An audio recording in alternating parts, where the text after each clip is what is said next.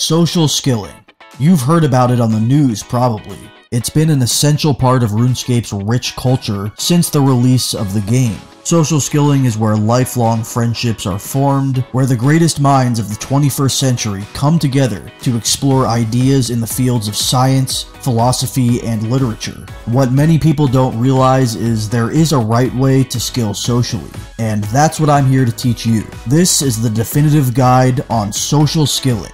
Let's start with barb fishing, one of my personal favorites. This activity is perfect for socializing, as it's a popular training method that's also pretty AFK. You'll have plenty of time in between clicks to type messages without losing XP. You can use some of this time to compulsively high scores check every player in sight to get a sense of their value as a person. Once you've figured out who you're dealing with, you'll want to run over to an empty fishing spot and 3-tick fish for about 10 seconds, at which point you are free to stop fishing and start flaming all the AFKers. Make sure that they know what you just did, tell them how easy it was, and call them lazy for not doing it. From here, you can hop back in the pile and start fishing again, because of course you don't want to lose too much XP. If anyone claps back at you, you should already have their stats and KCs memorized since you looked them up earlier, so attack their weak points and ignore their strong points. This is where you're going to bring up all the usual topics, namely their Infernal Cape status, the fact that they probably bought their account, you already know the drill. If they don't have any KCs, call them Redditors, and tell them that they never would have survived in a 2000 2009 Call of Duty Xbox lobby. You know, they just wouldn't make it because they probably would have been so offended that they would have cried themselves into a coma or something like that. Make sure to periodically run out of the pile while typing and wearing the most obnoxious fashion scape that you have this is basically the equivalent of Mike Tyson walking down his opponent in a heavyweight title fight, only it's way harder because he never had to type anything. Besides, Mike Tyson would have never lasted in a COD lobby in 2009. Footwork is key here. You don't want to be a stationary fighter, or in this case, a stationary skiller, unless you want to get eaten alive.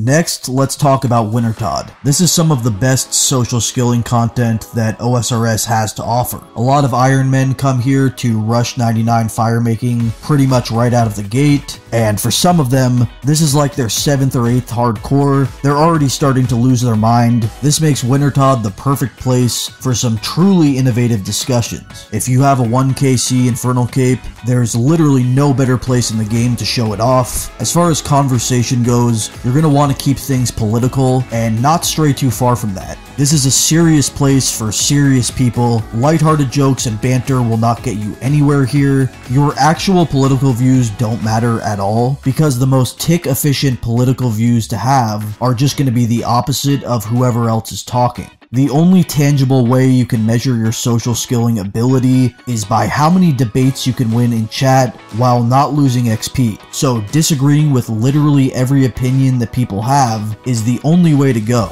You need to be willing to switch your views on the fly. One minute you could be listing off right-wing talking points, the next minute you're blog posting in chat about the virtues of socialism. At the end of the day, who really cares about any of that stuff? You are in this to be the best social skiller in RuneScape, not to have some sort of ideologically consistent position. And as a side note, if you see someone die in Wintertodt, call them a bot and laugh at them with the rest of the chat. This is the only time you should ever stop talking about about politics, so you may as well enjoy it. Finally, we have the various bank standing skills, such as fletching, crafting, and herb lore. The best methods are going to be gems for crafting, bows for fletching, and any potion that you want for herb, but don't use amulets of chemistry because it's going to cause you to have to click more and type less. These methods will give you maximum AFK time to engage in some friendly banter. The Grand Exchange is going to be your best bet for these skills, preferably on a fairly populated world other than 302 because there's way too much spam there. Now, a key principle here is that a great social skiller doesn't always start conversations, but he does always derail them. Stand at the bank, fletching or crafting or whatever, until you notice people talking a few tiles away from you, at which point you can make your move. Grab a full inventory of your skilling supplies, then run over and insert yourself into the conversation.